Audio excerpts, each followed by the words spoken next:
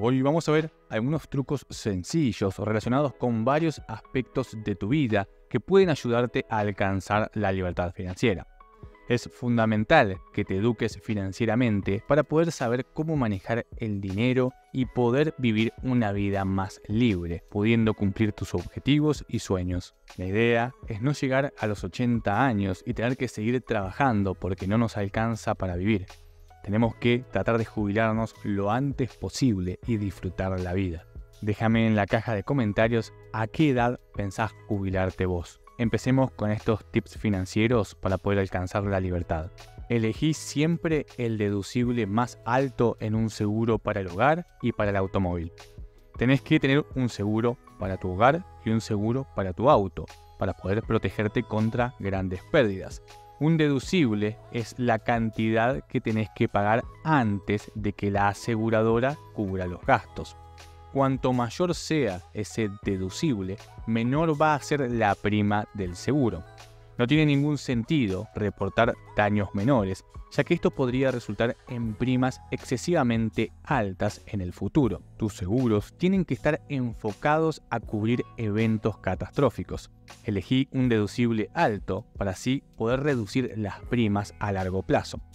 Reclamar constantemente puede llevar a primas más altas y también a cosas negativas dentro de la aseguradora. Así que lo mejor es tener un deducible alto y enfocar todos los seguros a eventos catastróficos. Todo esto se debe a que cada vez que vos reportás algún hecho fortuito, la aseguradora toma nota y aumenta tu riesgo. Al aumentar tu riesgo, aumenta la prima. Al reclamar continuamente por pequeños daños materiales, esto se va anotando y se va sumando, incrementando tu riesgo. Todo esto en definitiva se traduce en más cuota.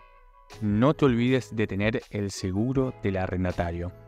Nunca confíes únicamente en el seguro del propietario. Necesitas un seguro de arrendatario para proteger tus pertenencias personales. El seguro del propietario no cubre tus bienes.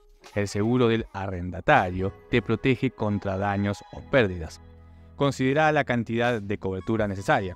Obtener un deducible alto para reducir costos y protegete contra pérdidas catastróficas. Establece también un valor de reposición sin deducción de depreciación. También puedes hacer un inventario y grabar en video todas tus posesiones. El seguro de arrendatario es accesible y vale la pena en caso de cualquier eventualidad.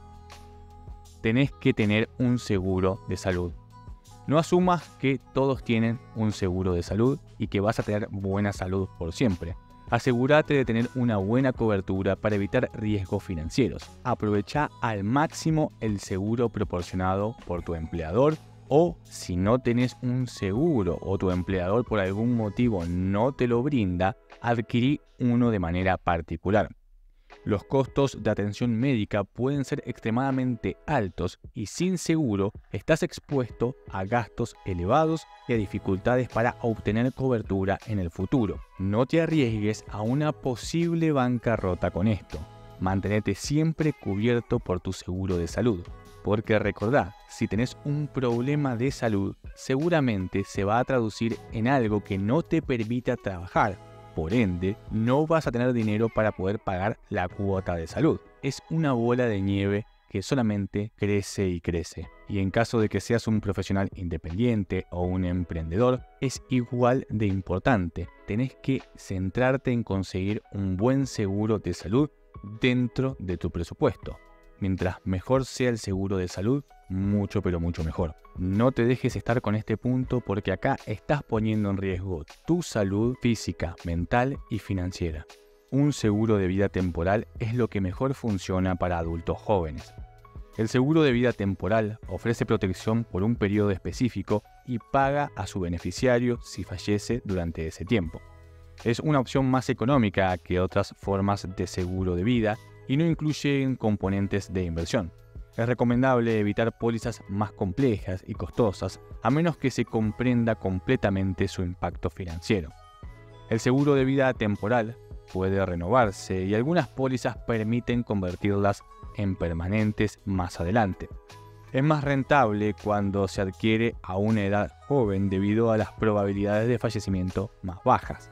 Es ideal para adultos jóvenes. Es muy importante que tengas en cuenta este punto, principalmente si hay gente que está dependiendo de vos. En caso de que te pase algo, esas personas no solamente van a quedar arruinadas emocionalmente, sino también financieramente. Así que es clave que contrates una buena póliza temporal. Es preferible un cheque que una boda. Si bien una boda tiene una carga cultural y emocional, es más importante tu bienestar financiero porque te va a dar una mejor calidad de vida en el largo plazo.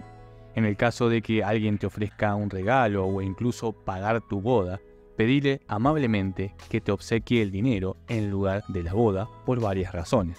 La boda es un solo día, mientras que el dinero puede tener un impacto duradero en tu futuro es posible tener una boda memorable con un presupuesto bajo y recibir el dinero establece una mentalidad financiera adecuada para tu matrimonio. En caso de realizar la boda, los gastos de la boda tienen que estar en línea con tu enfoque financiero y no se debe escapar de tu presupuesto. Aparentar puede ser mucho más costoso de lo que uno cree, no en términos financieros, sino en términos de calidad de vida a largo plazo. No inviertas tu tiempo y tu dinero en programas de marketing multinivel. Evita a toda costa los programas de marketing multinivel. Aunque algunos pueden prometer grandes ganancias, en realidad se basan en reclutar a otros para vender productos. Para la mayoría de las personas es una gran pérdida de tiempo, inversión y puede afectar relaciones personales. No dediques tus recursos a esta clase de programas. Conducí un auto hasta que deje de funcionar. Evita comprar autos nuevos con frecuencia. Los autos están diseñados para durar unos cuantos años, por lo que deberías aprovechar su durabilidad en lugar de sucumbir a la tentación de tener uno nuevo. Conducir un auto durante más tiempo te va a ahorrar miles de dólares a largo plazo. Lee el manual de tu automóvil de principio a fin. Leer y seguir el manual de tu auto puede ahorrarte tiempo y dinero. No menosprecies el valor de esta información porque te va a permitir darle el adecuado mantenimiento a tu auto haciendo que dure más y funcionando mejor. Darle el mantenimiento adecuado es importante para que perdure a lo largo del tiempo. No adquieras garantías extendidas en autos, productos electrónicos, electrodomésticos y televisores. Las garantías extendidas de automóviles rara vez son una inversión que valga la pena. El costo de la garantía puede superar los beneficios que ofrece, y los términos del contrato suelen ser bastante limitados. Es importante no dejarse persuadir por los vendedores de concesionarios o de productos electrodomésticos por este tipo de garantías extendidas, sin importar la presión que ejercen. Con una garantía mínima es más que suficiente. Y hasta acá el video del día, espero que te hayan gustado estos tips financieros y ahora te pregunto, ¿cuál de todos estos vas a aplicar? Déjame tu respuesta acá abajo en la caja de comentarios y si te gustó el video, no te olvides de suscribirte al canal, darle like y activar la campanita. Si quieres aprender más de finanzas, visítanos en www.academiasimple.com. Y si tienes un emprendimiento y lo quieres llevar al siguiente nivel, visítanos en www.emprendersimple.com. No te olvides de seguirnos en todas nuestras redes sociales y nos estamos viendo en el próximo video. Adiós.